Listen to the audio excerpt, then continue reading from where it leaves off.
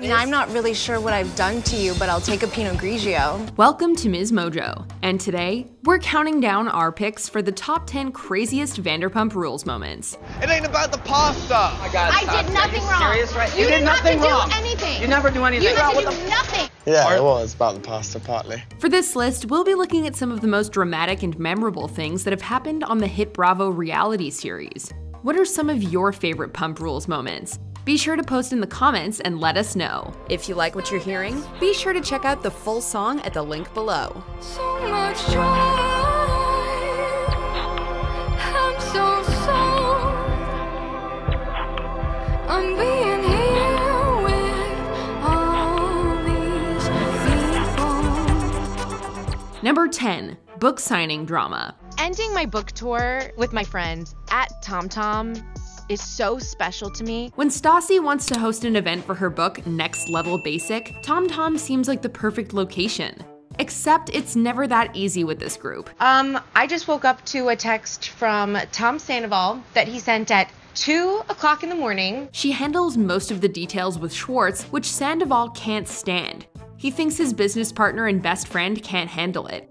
So when staffing issues arise, he sends her a bunch of rage texts. Do not put this on me or us because I will literally kick you the out of TomTom and all your wristbands. Essentially, he accuses her of not giving him enough advance notice. It all comes to a head at the event, where she accuses him of being jealous of her success in front of a bunch of unassuming guests. You know what? You're just f***ing sad that this isn't about you. Tom is so mad that he storms out.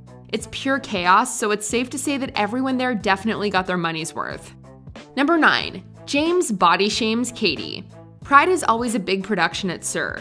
Unfortunately, this time the event made waves for all the wrong reasons. Kristen insists that James slept with her friend Hope, and drama ensues. I'm just curious if you are aware or if you just don't care. A not so sober James goes into a frenzy, during which he attacks Katie. No, she shouldn't be wearing those shorts. They're not very flattering. He tells her she's too fat for her outfit and to lose weight.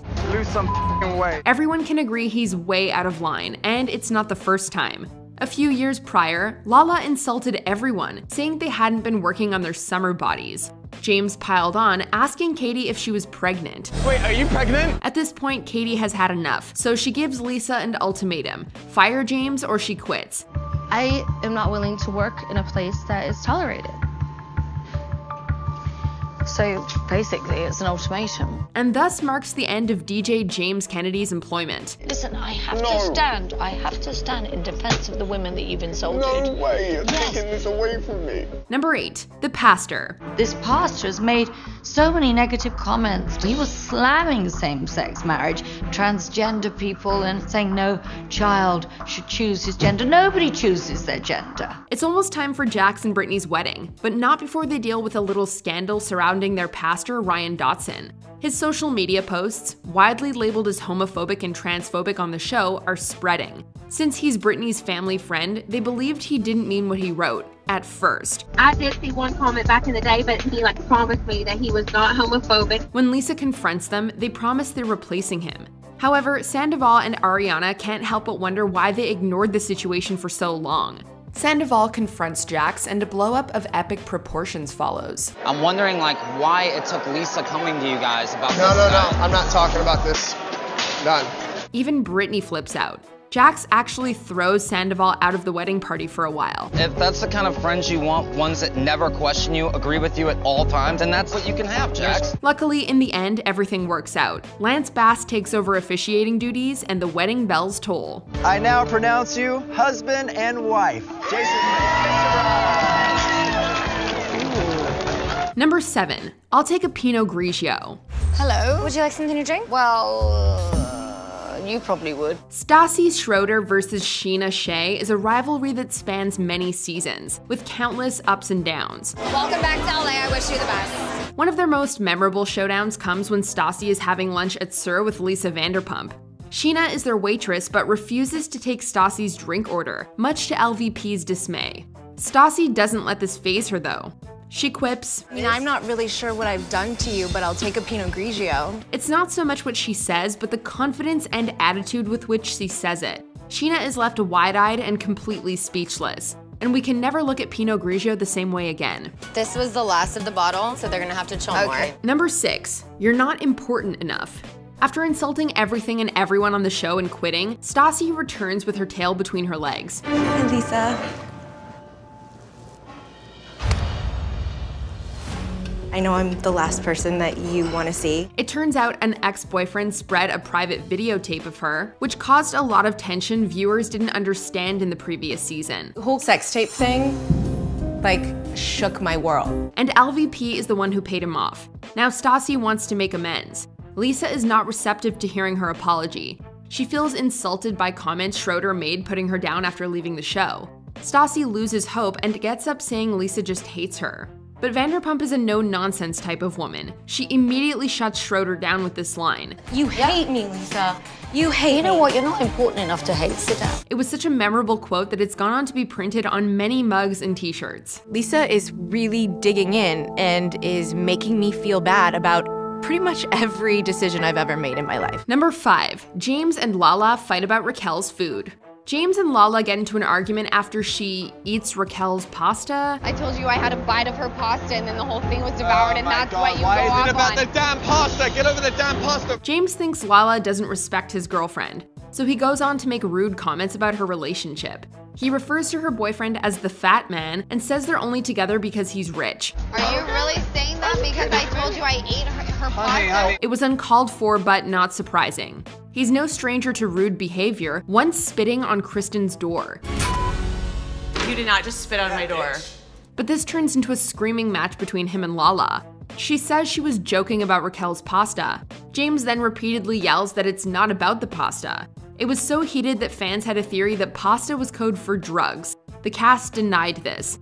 We sometimes still wonder if it was about the pasta though. Yeah, it was about the pasta partly. Number 4. Jax dumps Laura-Leigh. I don't know if it was the right time to bring up my feelings, but now is a good time as any. When Stassi and Jax break up, he's on the hunt for a rebound. He finds it in coworker and aspiring actress Laura-Leigh. They're even caught being intimate in the restaurant's bathroom. She confides in him about her struggles with addiction and takes him to an Alcoholics Anonymous meeting with her.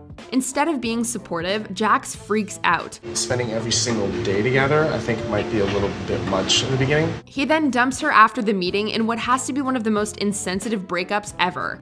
It doesn't quite stick, so he decides to ghost her. You have been with me every day from the time I woke up to the time I went to bed, and then all of a sudden you just stop texting, stop calling me, and expect me not to want an explanation? She confronts him and tells everyone that they had unprotected sex. Laura-Leigh actually went on to land a supporting role in the Jennifer Aniston movie We're the Millers. I'm Kimberly, with a Y.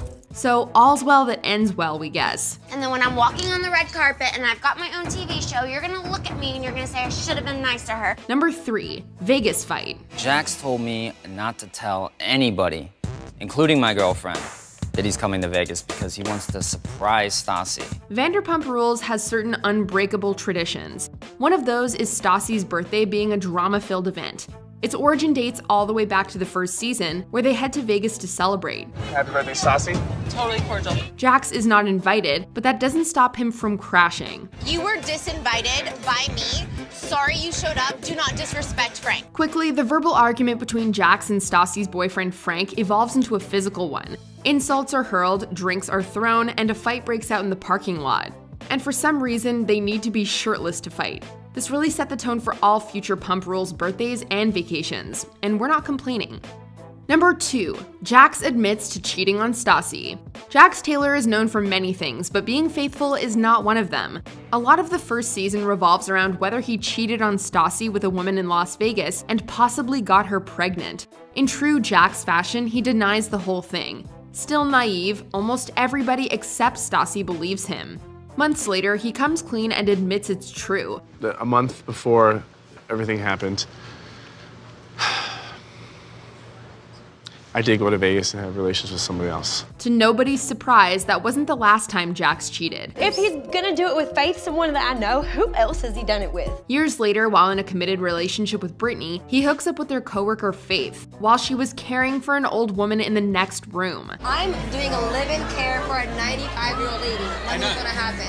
And he comes over and he's Faith, I've been wanting you for a very long time. He initially denies it, though not for long. I would tell you if I did it two, three, four, five times. What's, what's the difference between one time and ten times. It doesn't make a difference. This changes everything, you piece of sh- Lucky for him, Brittany eventually forgave him and they're now happily married. Hopefully, he's learned his lesson.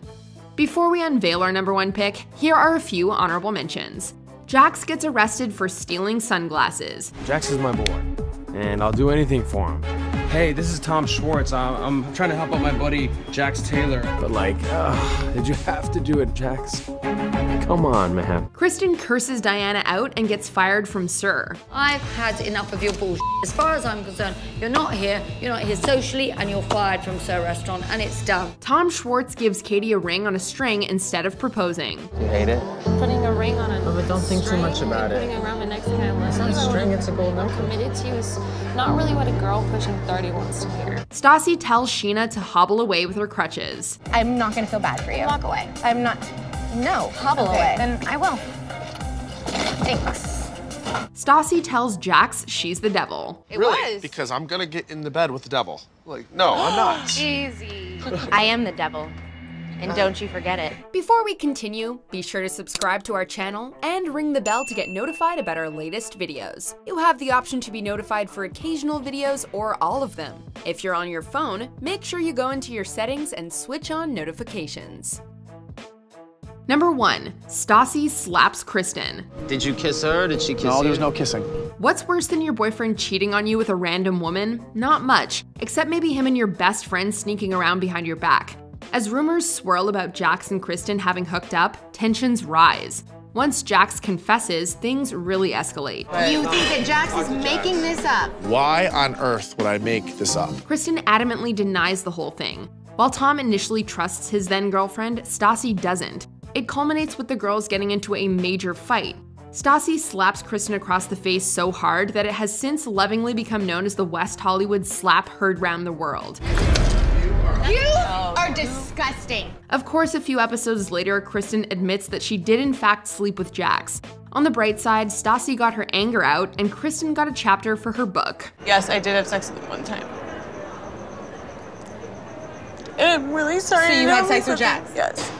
Do you agree with our picks? Let us know in the comments. And hey, if you're a fan of the song playing right now, be sure to check out the music video for it right here.